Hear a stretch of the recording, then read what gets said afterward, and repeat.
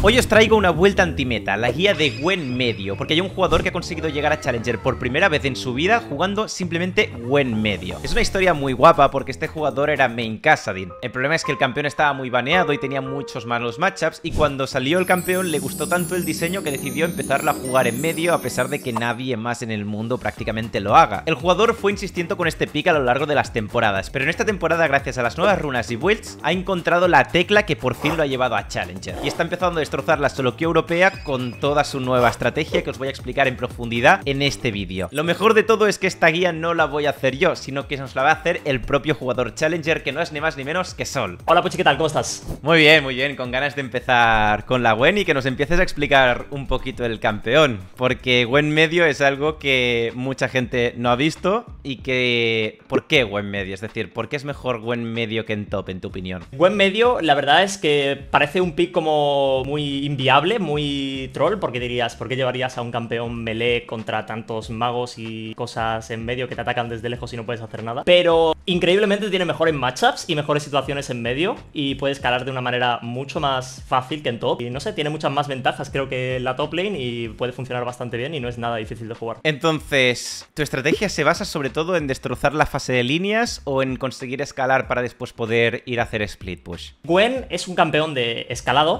¿vale? En early sufre bastante y su principal función es hacer hipercarry, es decir, eh, fedearse y consiguiendo la mayor cantidad de recursos posibles para aplicarlos o bien en side o bien en teamfight. Puede enfocarse a las dos formas. Entonces, digamos que la fase de líneas es un trámite para llegar al estado donde quieres que tu campeón pueda jugar. Efectivamente. El Power Spike principal es en los tres ítems. Cuando llegas a los tres ítems, básicamente eres un demonio y puedes con absolutamente todo lo que se te ponga por delante. Bien, pues ahora vamos a ver las runas y la builds y después empezamos a ver un poquito cómo que tenemos que jugar cada fase del juego. Te explico un poco de, de runas en general. Actualmente estoy probando sobre todo una setup de Conqueror bastante estándar, muy parecida a la de top lane que vendría a ser esta de aquí. Principalmente buscamos AP, entonces la única primera runa de la rama amarilla que nos da AP como tal es el Conqueror, así que es la que mejor va a servir para Gwen. La runa de absorber vida para aguantar eh, mejor la línea y la side lane. La de velocidad de ataque de Alacrity para poder sentir un campeón un poco mejor, más dinámico, porque la de Haste no nos sirve para Ultimate y la de robo de vida tampoco. Y la de Cut Down, no sé cómo se llamará en español, porque es la mejor runa actualmente de, de estas tres últimas, porque da muchísimo daño contra objetivos que están 50% de vida o más. Y luego las de brujería las pillamos porque también es AP plano para nuestra pasiva y realizar la mayor cantidad de daño posible de cara al lane. Genial,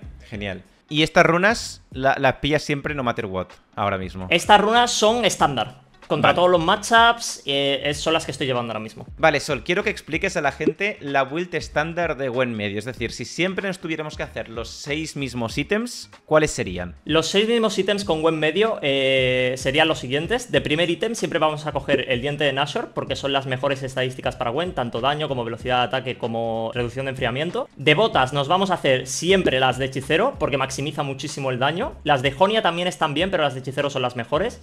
Y de segundo ítem nos vamos a hacer la malignidad. Este ítem nos permite jugar la partida porque nos va a reducir muchísimo el CDR de nuestra ulti y nos va a dar mucho AP, mucho maná para que no nos quedemos sin maná inside sobre todo y penetración mágica. De tercero vamos a ir con Rabadón, que es lo que más maximiza nuestra AP, de nuevo para tener más daño en la pasiva. Y de cuarto vamos a ir Void Staff, que luego vamos a juntar con un Shadow Flame para que la resistencia mágica que se haga el equipo enemigo quede prácticamente inútil junto con nuestro daño verdadero. Y esa sería la build estándar, los 5 ítems más botas que os tendríais que hacer con Gwen. Vale, ¿hay algún ítem que en alguna situación lo cambies por otro o suele ser poco flexible? Suele ser poco flexible, a no ser que tengan muy poca resistencia mágica, lo que sueles hacer es cambiar el Void Staff del Shadow Flame de sitio, es decir, si no tienen resistencia mágica de cuarto, te haces la llama sombría y de quinto el Void Staff, y si tienen resistencia mágica, viceversa, es decir, al revés. Pero normalmente suele ser muy poco flexible.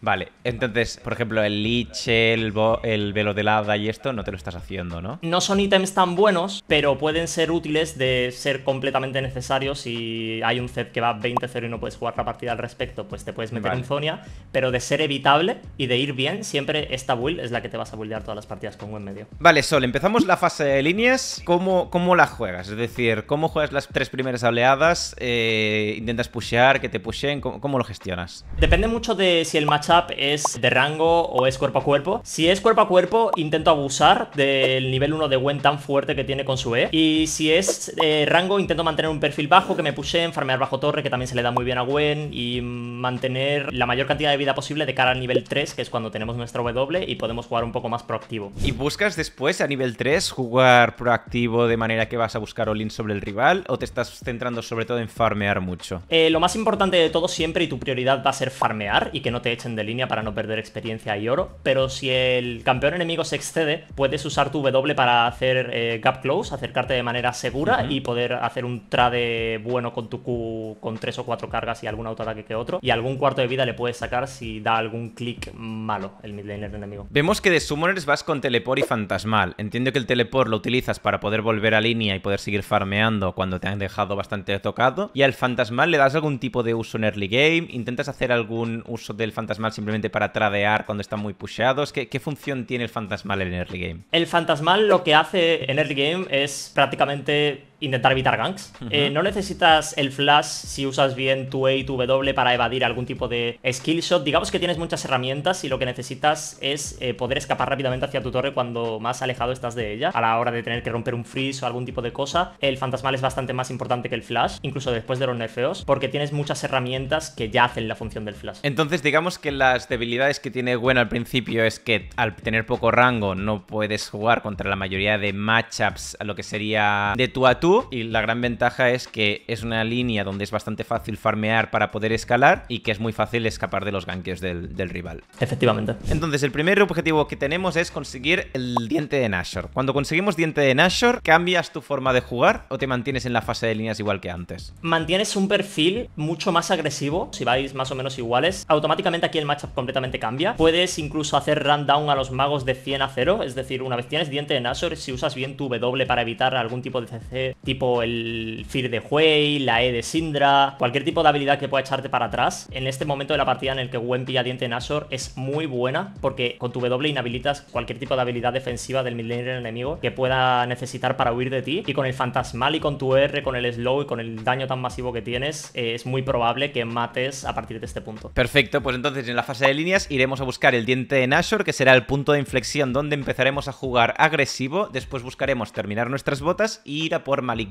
Entiendo que cuando ya tenemos la malignidad, seguramente ya no nos interesa estar en medio. Es decir, ¿en qué momento decides abandonar medio para empezar a jugar la side lane? En el momento en el que ya sea la que la bot lane tuya o enemiga haya tirado su primera torre, eh, vas a querer ir hacia la bot lane o hacia el matchup que mejor te convenga si tu top laner también ha abandonado su línea. Y vas a buscar o bien el solo kill de ser posible, si crees que es muy complicado, ya que el jungla enemigo está haciendo el shadow al otro side laner. Vamos a jugar un perfil de push and roam, es decir, vamos a pushear la sidelane y junto a eso nos vamos a mover con el equipo para que con la malignidad y con la potencia que tenemos en teamfights y el low cooldown de nuestra ulti podamos impactar el mapa de manera mucho más sencilla. Genial, entiendo pues que como la mayoría de luchadores que quieren fedear si es no volear la partida y ponerse hasta un punto que son imparables, tienes un foco muy grande en tirar las torres de tier 2 laterales que dan como 700 de oro cada una. ¿Qué tan importantes son estas torres para ti? ¿Las priorizas por encima de los dragones de juntarte como el equipo? ¿Cómo lo gestionas? Priorizo muchísimo estas torres y priorizo muchísimo un tipo de gameplay egoísta, es decir, si el objetivo que se está disputando en el mapa no va a dar la partida de manera automática al equipo enemigo, voy a priorizar tirar estas torres y conseguir la mayor cantidad de oro posible para que el siguiente objetivo que sí pueda ser necesario para que la partida se decante hacia mí, tener ese power spike y ese poder ya sea de Rabadon o de incluso cuarto ítem de haber incluso matado al otro side laner mientras se disputaba este objetivo para pelear los objetivos realmente necesarios. Digamos que en el momento en que más cómodo te sientes es cuando ya has conseguido el Rabadon, ¿no? Que tenemos diente de